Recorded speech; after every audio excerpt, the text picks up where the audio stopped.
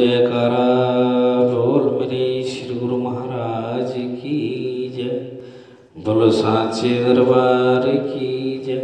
बोलो श्री नंगली निवासी भगवान की जय। बोलो श्री परमहंस दयाल जी महाराज की जय। ध्यान मूलम गुरुर्मूर्ति, पूजा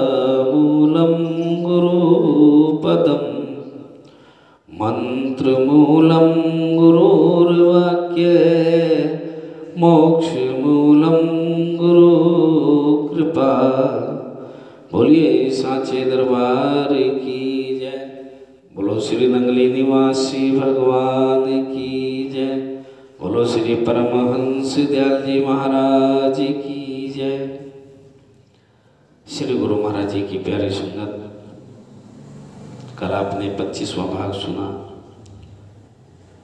कल आपने जाना कि श्री गुरु महाराज जी की निजात माँ कहाँ निवास करती है? कौन थे? आज 26 जनवरी गणतंत्र दिवस का दिन 26 जनवरी, दिन बुधवार, माघ कृष्ण पक्ष की नौमी तिथि।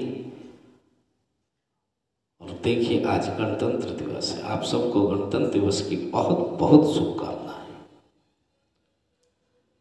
आज बारह बजकर अट्ठाईस मिनट दोपहर से एक बजकर बावन मिनट दोपहर तक राहु काल रहेगा। बारह बजकर अट्ठाईस मिनट से एक बजकर बावन मिनट तक कोई भी शुभ कार्य प्रारंभ ना करें, उससे पूर्व या उसके पश्चात करें। और आज के अध्याय में, आज के छब्बीसवें पाठ में स्वामी वैरागानंद जी का गृह त्याग। स्वामी वैरागानंद जी ने घर किस प्रकार छोड़ा, कौन थे स्वामी बेअंतानंद जी का वैराग्य, और स्वामी अभेदानंद जी, और स्वामी अजूनानंद जी का संन्यास। ये आज आप पढ़ेंगे, सुनेंगे। और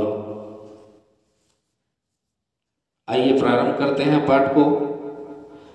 श्री स्वामी वैरागानंद जी का गृह त्याग। श्री महाराज जी के एक और प्रमुख सेवक थे। स्वामी वैरागानंद जी। इनका पहला नाम था भक्त दाराराम जी।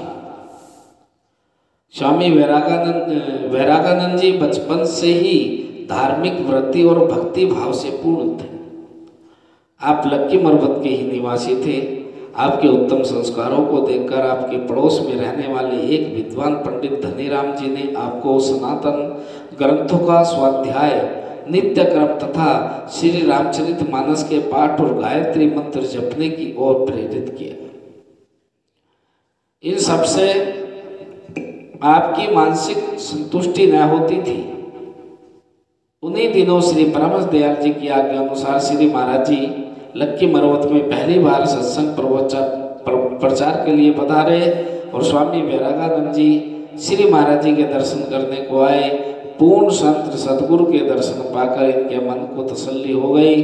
अब मुझे ऐसी मंजिल मिल गई। आपने श्री महाराज जी से नाम दान लेकर अपनी आत्म पिपाशा को तृप्त किया और कुछ काल के बाद आप श्री महाराज जी की शरणागत हुए और संन्यास धारण करके स्वामी वैरागंज नंद जी के नाम से, शुभ नाम से प्रसिद्ध हुए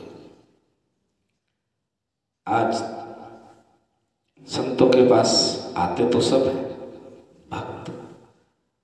लेकिन समर्पित कोई होना नहीं चाहता। एक वो वक्त था कि लोग ढूंढा करते थे कि हमें कोई गुरु मिल जाए, पूर्ण गुरु मिल जाए, हम अपना सर्वोच्च नौछावर कर दें।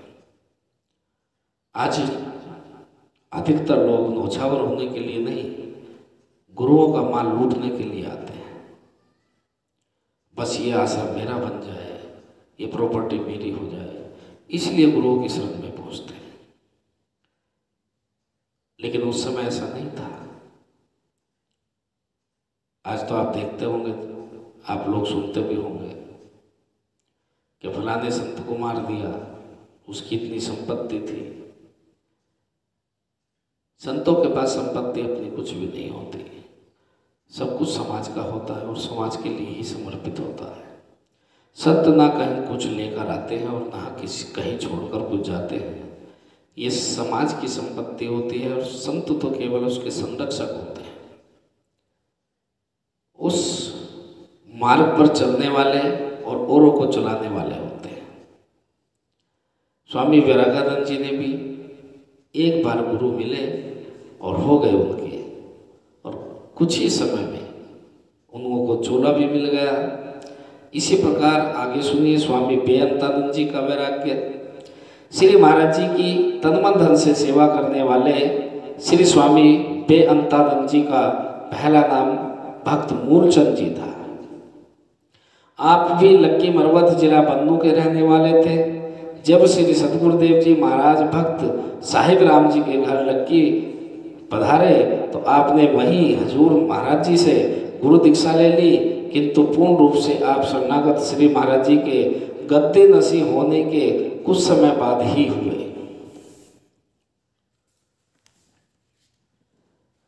श्री स्वामी अभेदानंद जी और स्वामी अजूनानंद जी का संन्यास दिवस संन्यास।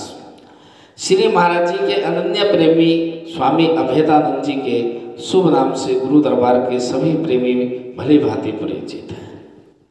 आपने श्री महाराज जी से गुरु दीक्षा तो सन 1917 में ही ले ली थी।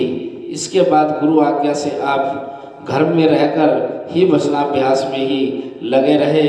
सन 1920 की सर्दियों में आप भक्त मूलचंद जी, स्वामी वेअंतानंद जी और भक्त भोजाराम जी के साथ श्री चरणों में टेरी हाजिर हुए और कुछ दिनों के बाद आपने श्री महाराज जी से प्रार्थना की कि कृपा करके मुझे अपनी शरण में ले लो। कई बार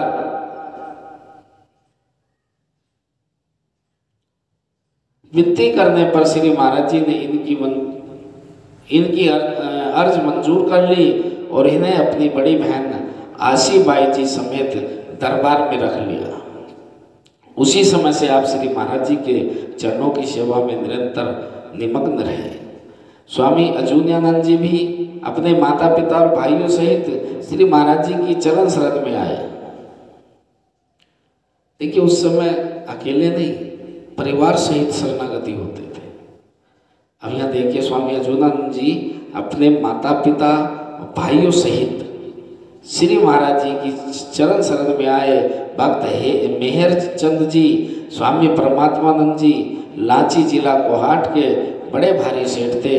उन्होंने भी श्री चरणों में सर्वोच्च नोछावर करके परिवार सहित श्री सदगुरुदेव जी की शरण ली।